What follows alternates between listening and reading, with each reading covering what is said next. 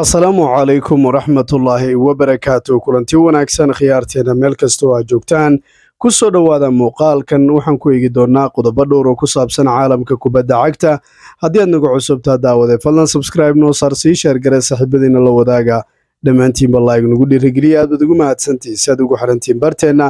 Barnaamijku waxaa isboonsagaraya shabkadda wararka ciyaaraha ee kooxda dot com iyo weliba dukaanka smartfoonada lagu iibiyo zak smartphones nairobi kenya aanu ku bilownay habeenkii xalay toole waxaa laga adkaaday kooxda kubadda cagta ee baris san german dabcan marka la eego bandhig ahaan iyo natiijo yacni almost toddobaatan daqiiqo ka mid ah waxaa markaasi ahaayeen kooxda kubadda cagta bavaria mid ay fiicnayd iyaguna noocuma soddon daqiiqa bay dadaaleen. Sida uu isaguba ku hadlay christopher galtier macalinka kooxda kubadda cagta ee b s g kaasoo isagu yidhi soddonkii daqiiqa ugu dambeysay aan u ciyaarnay ayaan doonaynaa inaan u ciyaarno kulanka soo aadan yacni yani wuxuu rabaa kulanka soo aadan inay u ciyaaraan sida ay u ciyaareen soddonkii daqiiqa ugu dambeeyey yacni marka la isweydiinayo waxay tahay marka galtiye waxauu isagu sheegay in soddon daqiiqo oo ahayd tii ugu dambeysay inay u ciyaari doonaan kulanka soo aadan marka ay tagaan aliyanza arena. Yacni midda koowaad inay ku adkaan doonto baan kuu sheegayaa sababtoo ah hadday furaan ciyaarta bavaria adi waa ka dhalinaysaa dood kama taagna. Laakiin su'aashu waxay tahay adig gooshaada ma difaacan kartaa ha waa in la isweydiiyaa waa wax ay adkaan doonto bavaria in shabaqaaga aad ka ilaashatay marka la eego waa sax levanduski inaysan wadan laakiin waxaa jira xidigo badan oo quality leh waxaa soo noqon doona maanaha sida warkii ugu dambeeyay tilmaamayaan maabe ha kuu soo noqdo adiga adiga laakiin shabaqaaga ma nabadgelayo sidoo kale macalinkan weli wuxuu wadaa afkaartii markaasi fulinimada ahayd waxaa ka sii daran b s g xalitoro goolka laga dhariyey eedda waxaa qaadaya ama qayb ka mid a eedda qaadaya ninka lagu magacaabo kilod navas. Muxuu ku qaadayaa kubaddaas ugu yaraan waxay meeshay ka hoos baxday waad arkayseen hadde kubadda markaasi gacmihiisaba ay ka hoos baxday. Kubaddu qaladka hadda uu isagu galayna ma aha markii ugu horreysay. Xusuuso qaladkii uu isagu galay kulankii real madrid uu ka hortegaya islamarkaana wixii ka dhacay kubaddii benzima ka hor inta uusan marquines qalad labaad gelin. Yacni b s g waqtiyadan oo kale waxaa ku yimaada elbriksi shan iyo toban daqiiqo labaatan daqiiqo oo ay qalqalayaan. Kulan kasta waa uu soo maraya oo markaasi nag awda heerka markay yimaadaan. Gurubyada kuma arkaysa waxaas. Taasoo kutusinaysa markaasi haddii la yidhahdo khibradna adi sanad kastay ku dhacayaan sanad kasta adi isku godkiima laga qarinayaa oo wax dhibaata markaa nadiga kubadda cagta xaalkeedan uusan qurux badnayn. Marka wax badan oo halisa ayaa la tilmaamayaa inay ku soo folleyn dabcan kulanka soo aadan wuxuu noqon doonaa mid xiliyaareedka galban doonta. Haddii navas waxaa jirtay fursado kulankii hore bavaria ku soo baxay laba kun iyo labaatankii sabab uu u ahaa isagu badbaadino uu sameynay ku soo baxda naadiga laakiin hadda ma joogo navas danaruuma qaladaadkiisuna qayb buu ka noqonayaa. Waan arki doonaa markaasi masiibada kooxda haysata nadiga kubadda cagta real madrid. Real madrid markaan ka hadleyno waxaan ka hadleynaa koox amaaliqaa oo weyn oo la garanayo oo mid ka ah kuwa loogu jecel yahay dunida uguna taageero badan marka la eego. Su'aashu waxay tahay warbixin dheer oo lagu daabacay shabakadda maarkay waddanka spain. Haddii ay rumowdo madrid maxay noqon doontaa macnaha? Beres waxyaaba badan lagu ammaanaya way jiraan. Tirada jiminisigu madaxweyne isagoo inta uu madaxweynaha kooxda ku guulaystay tirada marka koobabka uu qaaday sidoo kale garoonka uu isagu kooxda u horumariyey u dhisay weliba dakhli fara badan kooxda uga soo xaroonayo. Waan dhihi karaynaa waa santiago barnabio cusub. Dadka ma taagna. Waa santiago barnabio magacan garoonka loo siiyey waxaa laga yaabaa toban sano labaatan sano kadib ama soddon sano kadibba. In dunidu ay xusato ama garoonka santiago barnabio la bedelo magaciisa isla markaana la siiyo valentino beres wax dhici karaya sababtoo ah shaqadii uu qabtay aawadeed.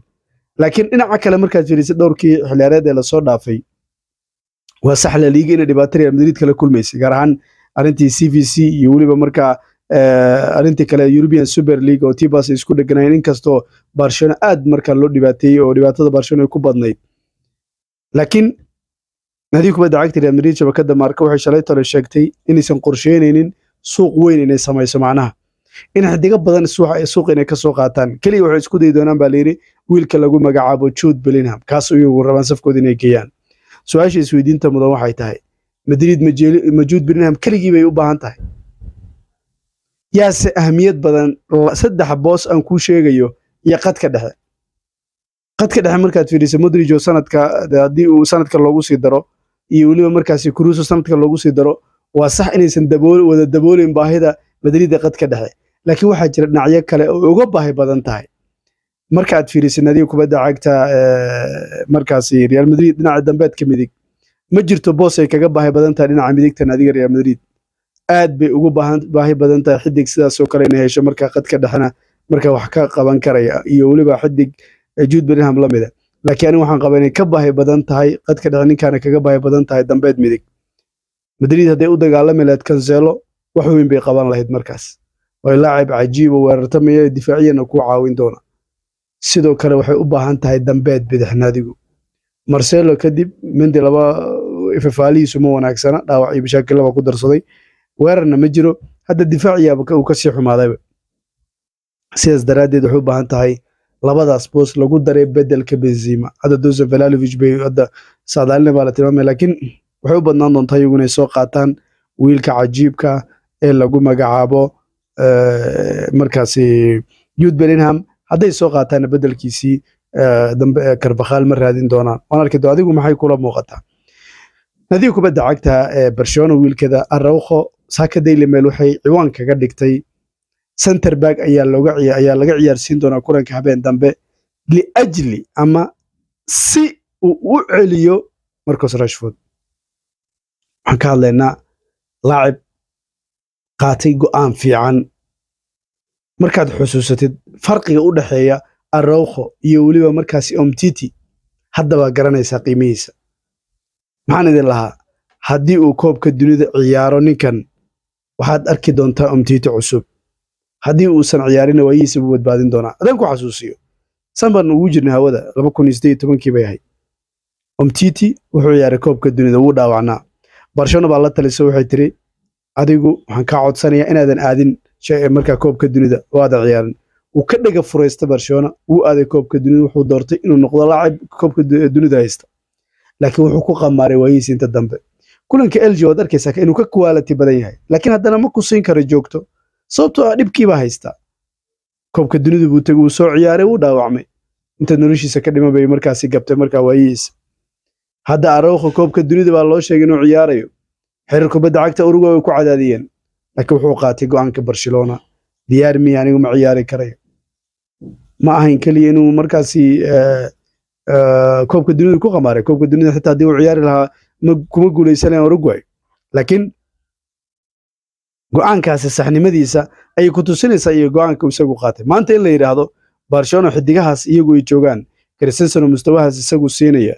Oo cajiib weliba markaad fiiriso. Anigu arkay xidig ugu muhiimsan barcelona marka la eego. Sidoo kale iyagoo xidig conde uu joogo. Haddana lagu yidhahdo araujo laacib yar oo akademiyada ka baxay in la yidhaahdo isaga waxaa laga ciyaarsiin doonaa center back si loo joojiyo ninkii ahaa marcos rashford oo ku jira mustawa cajiiba. Waxay ku tusinaysaa shaq qurux badan. Weliba xitaa horumar weyn baa ka muuqda marcos rashford waayo waxaad arkaysaan ee uu isagu ka samaynayo dhinaca marka weerarka weliba xitaa kubadaha hawada sida madaxa ugu dhalin waad aragtay kulamadii ugu dambeeyey. Weliba inta mitri isagu boodayo anuga dhan kasta inuu ka diyaarsan yahay baa muuqata markaa marka waan arki doonaa barcelona wuxuu ku samayn karo laakiin canuga shan milyan baa laga soo bixiyey. Xusuuso arrawkha aad ka arkaysa adigu. Ka waran imiseba maanta markaasi uu maraya qiimihiisa. Ama markaasi qualitiga uu siinayo bal intee bay gaarsiisan tahay? Commentiga hoose bal noogu jawaab. Mis leedahay marka venicius junior cusub baan arki doonaa oo rashford waa joojin doonaa arrawkho si marka loo joojiyana center back baa lagu ciyaarsiin doonaa. Way leedahay barcelona daily mail inay qoraysaa haddii aanu aadno waddankaasi markaa ingiriiska nadiga kubadda cagta manchester united waxaa leeyahay ueva waxay ogolaatay in nadiga kubadda cagta ma united ay ku wareegto gacanta reer qatar. Yani ma kama hor istaagi doonto baa leeyahay xogay hesha daily mail ayaa warkaa baahiyey yani waa wax u wanaagsan midda koowaad sababtoo ah nadigu waxaa laga doonaya inay la timaado qorshe cad oo ku aadan b s g manchester united inaysan isaga hor imaanaynin ama aysan dhib isu keenaynin marka laego labada naadi marka ay ka qaybgalayaan tartanka champions league waayo sharcigu wuxuu dhigayaa hal tartan hadday marka labada ka qaybgalayaan looma ogolaanayo hal owner inuu yeesho ama xataa hal milkiile marka. Taa iyada baa laga doonaya sidoo kale weli waxaa soconaya weerarada lagu qaadayo ee ragga siyaasiyiinta wax falanqeeya iyagu markaas in badan ay weerarayaan. Wax xitaa marka laego ragga falanqeeyaasha baan ka hadlayayo in badan hataa siyaasiyiin badan baa weerartay markii oo reer galbeed ah koobkii dunida ugu dambeeyey qatar kuwa ingiriiska waa u badnaadaan xitaa kuwooda wax falanqeeya ciyaarahana way weerarayaan markaasi. Marka ma united almost waxaa leeyahay malaha gacanta ay ku wareegi doonto. Haddayse wax isbedelay markaa qadariyiintu laakiin waan arki doonaa. Haddii aanu aadno kulanka xiisaha badan ee kooxda kubadda cagta arsenal iyo weliba manchester city. Kulan xiisa badan baan daawan doonaa. Wuxuu noqon doonaa mid ka mid a kulamada isha lagu hayn doono isla markaana cajiibka aad baa loo saadaalinayaa kulankan isagu inuu noqon doono arsenal iyo manchester city. Kulan cajiiba caawa. Horta kulankan wuxuu imanayaa kulan waqti cajiiba. Nadii kubadda cagta arsenal markii ugu horreysay la dhihi kare waxay maraysaa heerkii ugu fiicnayd. Nadii kubadda cagta cityna way joojin kartaa. Sababtoo ah city kulamadii ugu dambeeyey ma wanaagsanayn. Xitaa markay saddex iyo ku badinayeen yani ma caafimaad qabin koox caafimaad qabta anigu maan arkin. Waa sax kulankii ugu dambeeyey cajiib inay ahaayeen oo ifafaalo laga baqay lahaayeen. Laakiin markaad fiirisid nadii kubadda cagta arsenal iyadoo labsadeeda dhinacay kulamadii ugu dambeeyey ma wanaagsanayn saddex kulan ma fiicnayn laakiin ka hor waxay ahayd koox caafimaad qabta oo dagaalamaysa dhinac kasta ka adag oo aan la wajahi karin taana waa wax kale oo lagu ammaanayo kooxda isla markaana cajiib bay ku tahay arrinta ugu halisan ee anigu aan markaasi soo jiidato waxay tahay nadiga kubadda cagta arsenal in kulamadii ugu dambeeyey mushkilad ay wajahayeen mushkiladda ay wajahayeen maxay ahayd mushkiladda ay wajahayeen waxay ahayd in nadiga kubadda cagta arsenal laga doonayo ficil laakiin reaction aysan ahayn yani rada ficilka iyo ficilka waa kala labo arsenal iyadaa laga doonayo ficil oo kooxda kale goosha kale bay tegaysaa laba blog bay sameynayaan kontratak bay ku ciyaarayaan kubadaha labada naadiba saas bay ahayn ima brentford ima markaasi nadiga kubadda cagta everton sidaas daraaddeed kooxda waxaa soo dahaya midda koowaad fursadaheedii waxaa soo dahaya golashay dhalinayeen waxay awoodi waayeen inay blogyadaasi jibiyaan taasoo markaa dhibaato ah hadda laakiin waxaad daawan doontaan kubadda oo arsenal iyadu isku dayeyso inay markaasi city inay kubadda qaadatay isku dayi doontaa. Arsenal way la dagaalami doontaa laakiin arsenal way noqon doontaa. Tobanka xiddi kubadda gadaashooda bay noqon doonaan way isdifaaci doonaan. Kooxda kubadda cagta ee city waa kubadda qaadan doonta.